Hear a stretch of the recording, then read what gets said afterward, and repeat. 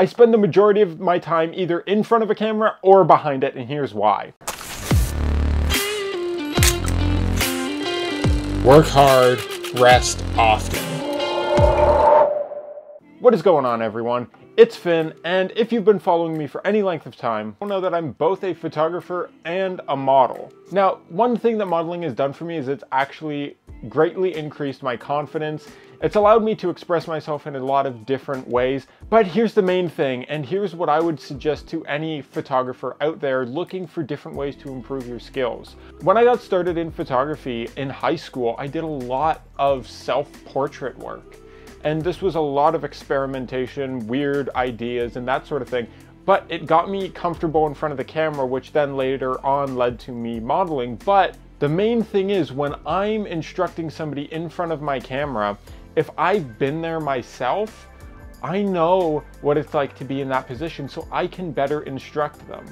Some of the greatest photographers out there, Nigel Barker, for example, was a model for many years for becoming primarily just a photographer. Even Peter Hurley, the master of headshots himself, was a model for the longest time and then slowly switched to being primarily a photographer. And this is because you understand it at a different level. If you've been in front of the camera, you know how to direct the people when you are behind the camera. It's also just given me a different perspective and a larger appreciation for the artistry that these models have. We're not just out there looking good in front of the camera. There's more that goes into it. And it can actually be a grueling job sometimes. Sometimes it uh, doesn't always pay the best.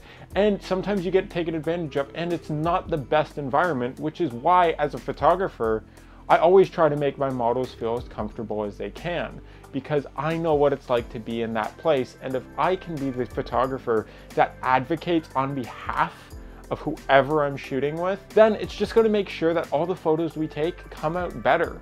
I always find the best photos are when I can really vibe with my subject and if I'm able to do that because I know where they're coming from and because I can empathize with them because I've been there, then that's going to lead to better photos and a better experience overall. This is something I would honestly suggest just about any photographer do put yourself in front of the camera, even if it's just doing self-portraits, because you will learn so much that will actually make you a better photographer. This has absolutely changed up how I work, how I talk to models, how I work with them, makeup artists, all of it. It just gives you another level of understanding where you see the entire process from all ends of the spectrum. So that way, no matter where you are, you have an understanding of it and everything is just going to go smoother because of that. You're not gonna be yelling at models because you know what they're like in that position and you're going to be able to direct them in ways that they will respond well to because you will know how photographers have directed you. You'll be able to take things that you do like and most importantly things that you don't like. Leave that out of the picture so that way when you're instructing your models, you can give them clearer direction and that way they're gonna be able to give you exactly what you want every single time. It's something that has taken me a lot of trial and error to figure out, but it's something that I'm super, super grateful for. And honestly, anybody out there, you don't have to go and model for shoots specifically. Just take some self-portraits and you'll understand how to move and how to pose people so much better. One of my main posing tips for people is get in front of the camera yourself and suddenly you will understand it at such a deeper level. But the other thing is, being a photographer has also made me a better model because I know what the photographer is looking for. I've had photographers who have photographed me tell me that they barely need to give me any instruction because I see what they're doing and I quickly adapt and structure my posing and my look to fit that. So that way we're all on the same page and everybody's happy. That look that they're going for is easily achieved because I see it and I know what to give them. If they're just shooting me from up here, I'm not gonna be doing anything with my legs. I'm just gonna be moving my body to give them what they want and what they need.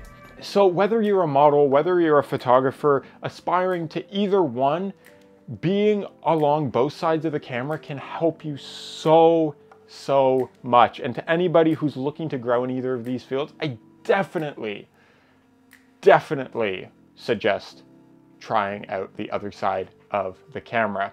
This is just my own personal experience, but if you have been in a similar scenario, let me know your thoughts. Like this video if you enjoyed it and got some value out of it. Subscribe if you haven't already. Hit the bell to be notified for all future videos. Work hard, rest often, and as always, my friends, I will see you on the next one.